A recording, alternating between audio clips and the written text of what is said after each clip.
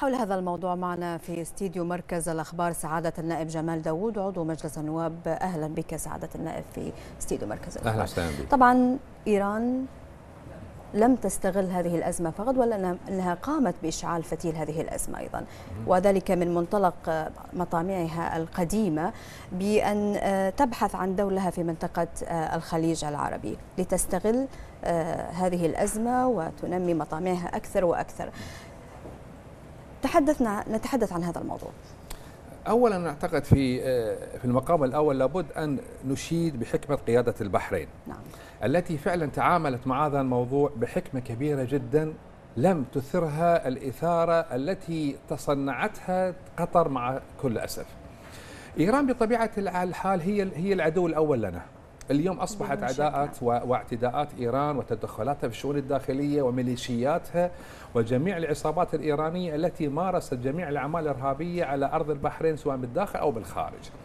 ومن المستغرب أن اليوم كيف ننظر إلى دولة شقيقة ولنا علاقات أسرية وأخوية وعلاقات جوار كبيرة جدا ضمن منظومة مجلس التعاون مثل قطر بأنها ترمي بنفسها في أحضان إيران ومن الأخبار التي ترد إلينا يعني مع الأسف بحد الآن نتابع هذه مصادرها بأن قطر وإيران الآن بصدد توقيع اتفاقية لإنشاء قاعدة عسكرية إيرانية في في في قطر نعم. يعني ما هو المدلول الذي ممكن أن أن أن, أن نصل إلى غير أن إيران استطاعت من خلال هذه الأزمة التي خلقتها ووجدتها وصنعتها قطر أن تدخل من خلال هذا الجيب جيب قطر من أن تمارس جميع أشكال الأعمال الإرهابية على البحرين ودول المنطقة خاصة البحرين والمملكة السعودية الشقيقة لأنها هدفنا أو هدف إيران الأول هي أرض البحرين بشكل أساسي وهذه التجارب التي عشناها منذ 30 سنة وأكثر من 30 سنة.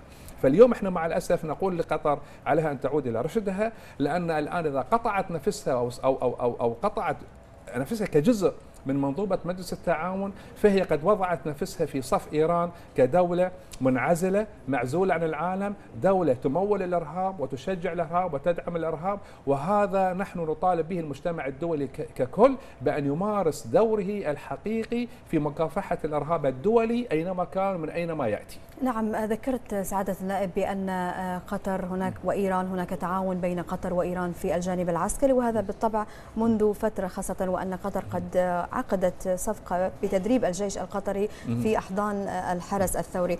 هناك أيضا مصالح اقتصادية بين الدولتين. ولكن السؤال هنا ولا السؤال الذي يطرح نفسه اليوم آه هذا التعاون مستمر منذ إلى متى سوف يستمر هذا التعاون؟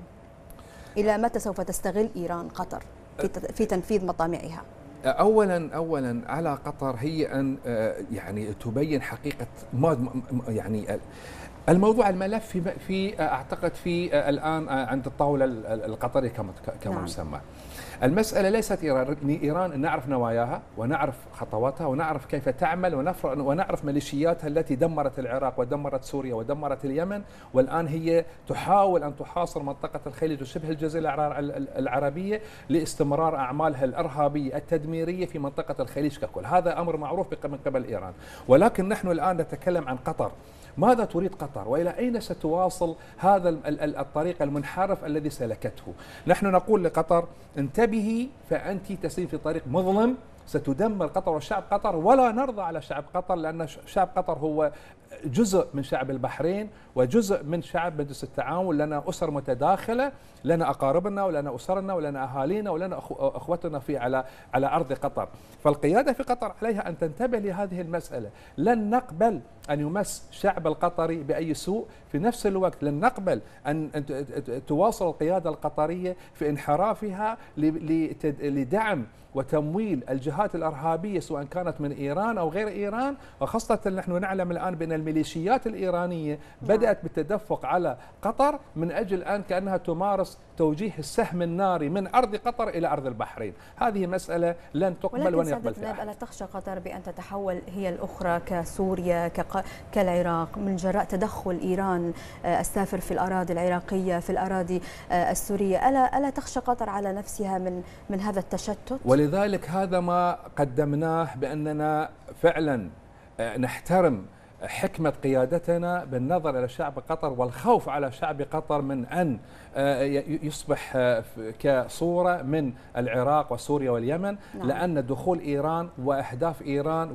والوثائق الفارسية بشكل عام جميعها هي أساسها أن تدمر جميع الأراضي العربية لأن لديها أهداف أخرى هي في وثائقها موجودة وفي مطبوعاتها التي قرأناها ومرت علينا سواء كانت مقروءة أو مسموعة أو مرئية وحتى إلكترونية جميع مطبوعاتها تؤكد بأن أهدافها هو تدمير هذه المنطقة دمارا كامل لإعادة بنائها وفقا لمرئياتها وفقا لأفكارها المنحرفة الطائفية نعم. التي هي أصلا تقوم على أساس الإرهاب والتدمير ولذلك نحن نخشى على قطر من أن تمر بهذا السياق ومع الأسف بأننا نتلمس الآن الخطوات الأولى في هذه في في في هذا الاجراء على أرض قطر ونخشى على شعب يعني قطر أصبح المشهد أكثر وضوحا اليوم.